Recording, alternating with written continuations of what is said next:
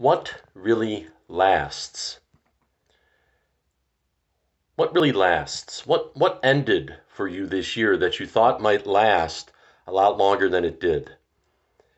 Did your car finally stop running? You thought it would last for a couple more years? What about grandma's life here on earth? Did you think grandma would live longer, but her life on earth ended?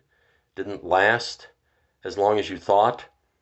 Sadly, far too many people in our communities and around our world have seen their lives end, perhaps sooner than you thought. And we realize life on earth doesn't last. Even if you got COVID and recovered and have the antibodies, they say that your immunity might only last for three months.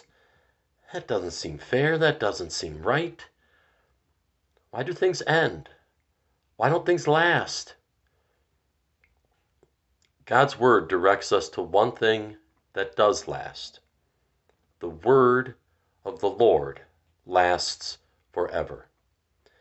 One of our scripture readings coming up in worship this weekend, we hear about many of the things that don't last people's glory, people's lives. But there is one thing that lasts the Word of God. And the Word of God tells us the most lasting good news ever. Jesus loved you so much, he gave up heaven to come to earth.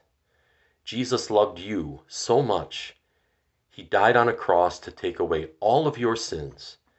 And Jesus gives you eternal life, perfect life, that will last forever. The word of the Lord lasts forever. Thanks for watching.